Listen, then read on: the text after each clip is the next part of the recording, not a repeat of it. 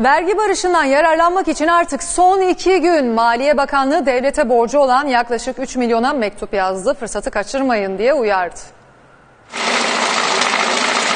Temmuz sonunda bitecekti. Talep nedeniyle ertelendi. Vergi barışında son düzlüğe girildi. Borcunu yapılandırmak isteyenler için son gün 27 Ağustos. Vergi borcunu peşin ödeyenlerin gecikme faizinin %95'i siliniyor. Bazı borçlardaysa %80'e kadar indirim yapılıyor. 18 taksit 36 aya kadar vade imkanı da sunuluyor. Maliye Bakanlığı da yaklaşık 3 milyon borçluya mektup göndererek vergi barışını hatırlattı. Fırsatı kaçırmamak için elinizi çabuk tutun dedi. Trafik cezaları, köprü ve otoyollardan kaçak geçişler, Sosyal Güvenlik Kurumu'na borcu olanlar da vergi barışından faydalanabiliyor.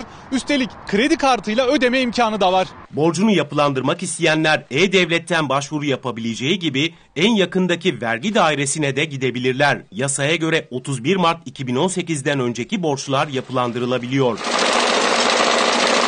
Tarih uzatılmadan önce yaklaşık 600 bin kişi devlete olan borcunu yapılandırmış, rahat bir nefes almıştı. Bayram dönüşü yine vergi dairelerine akın bekleniyor. 27 Ağustos pazartesi günü saat 17'ye kadar fırsat devam ediyor.